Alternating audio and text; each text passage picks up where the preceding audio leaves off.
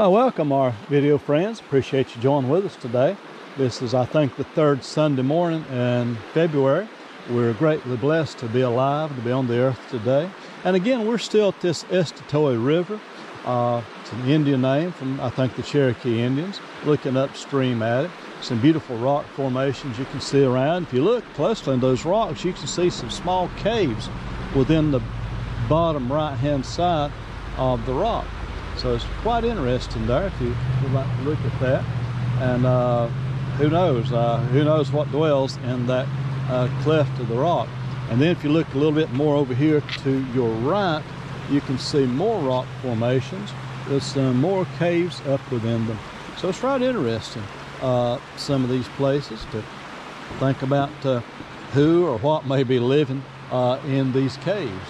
And uh, I know some of you might like to go in there and check it out, and some of you might just as soon not go in there and check it out. But uh, right interesting though.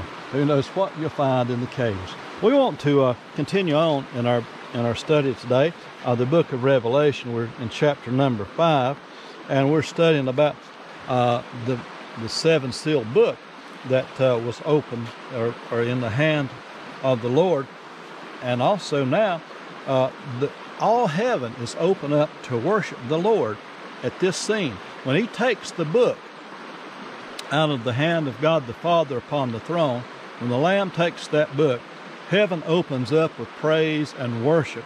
Uh, I mean, it just opens up. We, we just studied uh, the last session about the four beasts and four and twenty elders, how they fell down and worshiped and sang a new song. And now in the verses 11 and 12, we read about the angels exalt the Lamb, and they sing praise and worship unto the Lord Jesus Christ. Let's read verse 11. And I beheld, and I heard the voice of many angels, many angels, round about the throne.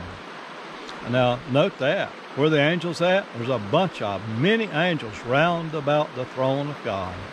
Uh, I think one angel could come and destroy this world if God would send him to do so.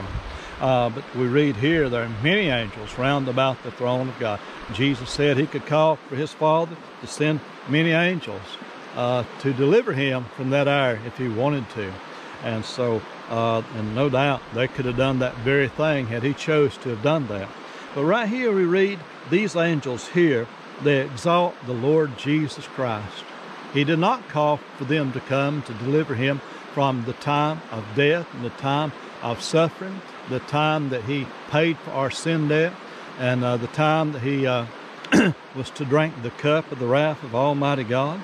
He went ahead and he drank that cup. He partook and allowed himself to be uh, beaten and beaten beyond recognition and then nailed to a rugged cross for our sins. He allowed that to happen. But now we read this scene in heaven, John sees, he says, I beheld, and I heard the voice of many angels round about the throne. Now notice who else is there. And the beasts, we've read about them, and the elders, we've read about them. And the number of them was 10,000 uh, times 10,000. Now, you could figure out how many 10,000 times 10,000 is. Uh, if you got a calculator, you can get that. And you, we can know what that number is. But now, right here, drop down to the next phrase, and thousands of thousands. What about that? So how many angels are there? Uh, you, you do not know. They're innumerable because we, we know what 10,000 times 10,000 is, but then we read here, and thousands of thousands. That's more than the stars. No doubt. No man's ever been able to number the stars. Innumerable. And we, we learn right here from this verse that the angels are more numerable than the stars above our heads. Ain't that amazing? That's what we're talking about is the host of heaven, which included uh, these uh, uh, the beast and the elders. Uh, they too uh, are part of this worship. Now we're going to realize right here, if you can imagine this, what goes on in heaven, I think this goes on uh, the worship of the Lord goes on up there all the time. But uh, right here is a special time of worship. When the Lord takes that book, which has the seven seals upon it, which is the judgment of this world and the unleashing of the tribulation period, I think it's going to be such a special time in heaven, and we shall read why. Uh, that all the angels, along with the four beasts and the four and twenty elders, are going to worship the Lord and give praise and glory unto Him. Verse 12, here's what they're going to be saying, saying with a loud voice, Worthy is the Lamb that was slain to receive power and riches and wisdom and strength and honor and glory and blessing. What about that? All of heaven's hosts are singing out, crying out with a loud voice, Worthy is the Lamb, worthy is the Lamb uh, that was slain to receive power and glory and riches and wisdom and strength and honor and blessings. What about that? I mean, that's some great things that they're bestowing upon the Lord and saying He is worthy. The host of heaven, which you cannot number. When He takes that book out of the hand of God Almighty, uh, and we're talking about the Trinity, He's as much God as God the Father. But then the worship is turned to the Lamb for that which He has done upon the cross of Calvary and given Himself and they say he is worthy. And I want you to know he certainly is worthy. Uh, when you go to church, I hope you hear the Lord exalted and lifted up because he's the one that's worthy, not man. I, I do hate to go to church and some man try to rob God of the glory and take it upon himself. What a shame. Uh, men ought to know better than that.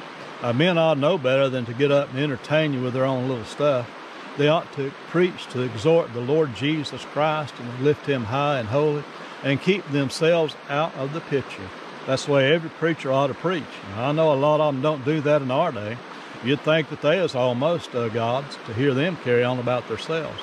Uh, but now the true preachers and the true men of God, they're exalting the Lord Jesus Christ. And in heaven, what the angels are going to do, and the four beasts and the four and twenty elders, they're going to worship God, saying, Thou art worthy to receive all these things uh, to be bestowed upon the Lord. When He reaches to open that book and unleash the veils, I mean, unleash the seals and the judgments that go with that the trumpet judgments, the vial judgments, and these seal judgments uh, that's the tribulation period we're talking about. And when that takes place, uh, Satan and his group will be destroyed at the end of that and will be cast into the lake of fire, and the Lord shall rule over this world. And it'll be a wonderful time when he receives glory and honor and riches and blessings and wisdom. I mean, it's going to be a wonderful time when he's here. And the lion shall lay down with the lamb. This earth will blossom. I mean, it'll blossom beyond anything you could ever imagine. Uh, the thorn will not come up with the rose. We'll have roses without thorns upon them. This is Valentine's Day. I'm sure a lot of you got your wife some flowers, your girlfriend some flowers. Well and good.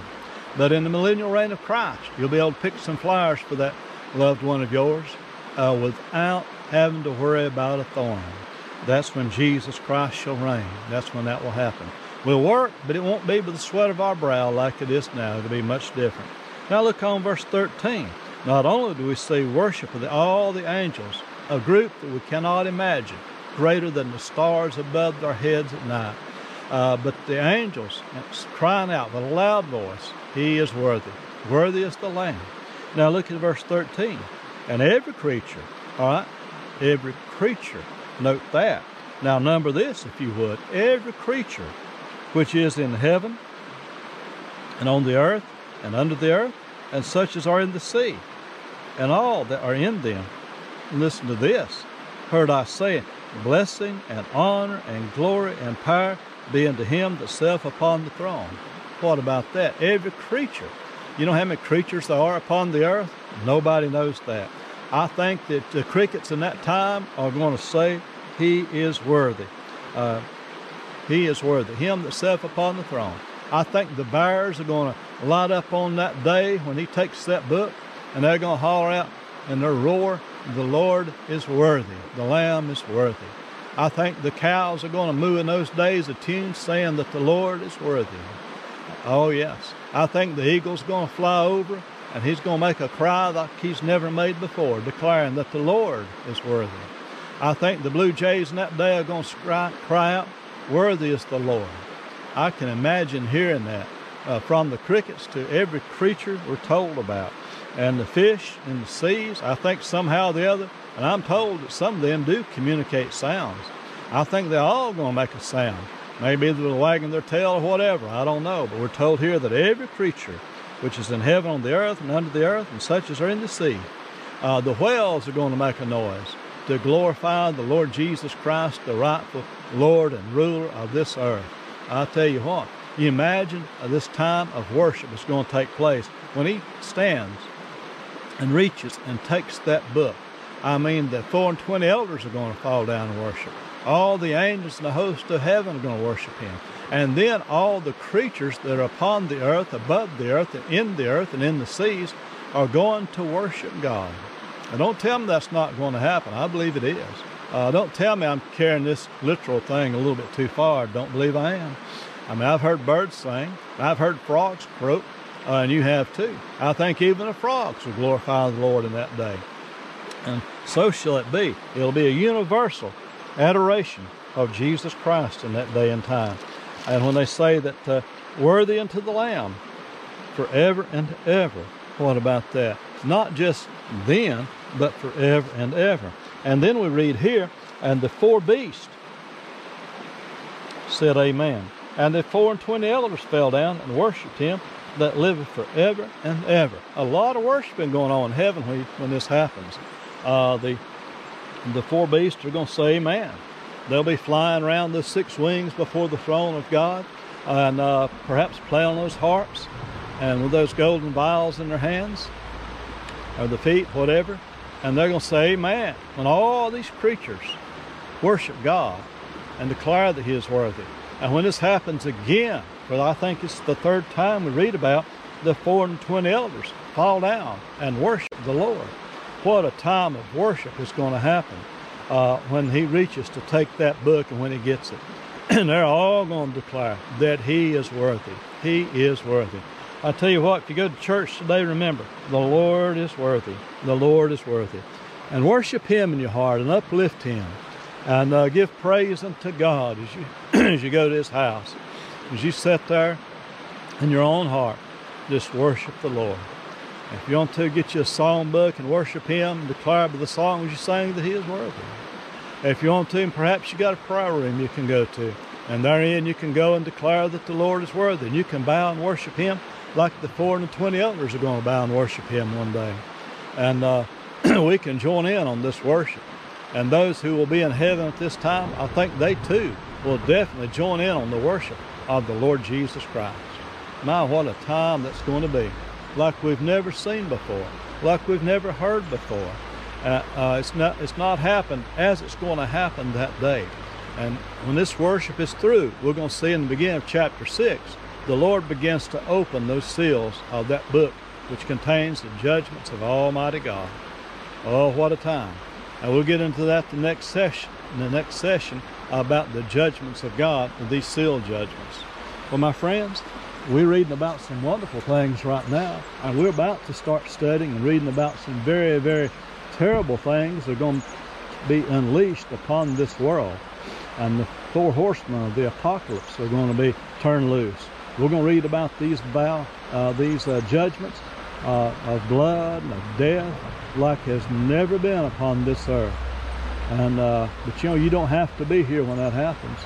If you want to, you can call upon the Lord and ask Him to come to your heart and life and to save your soul from a certain devil's hell. There's a heaven to be gained and a hell to shun. And the choice is going to be yours, which place you go to and what you do. So call upon him today while you can. If you're alive and on this earth, and I don't care how bad your past has been, ask Jesus to forgive you of your sins and to come to your heart and your life and to save your soul from a certain devil's hell. You'll find he'll do that. Don't worry about your past. Don't worry about how wicked you may have been. Don't get the idea that you're too bad. You're not. You're not. If you'll repent, he'll receive you. If you'll call upon him, he will come and open the door. You open the door, he'll come and sup with you and you with him. He'll do it. May God help you.